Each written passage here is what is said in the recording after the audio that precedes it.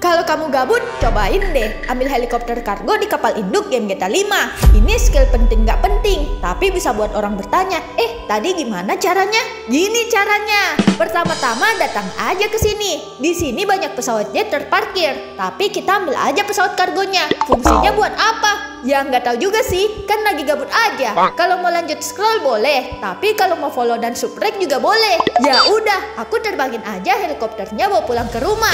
Loh,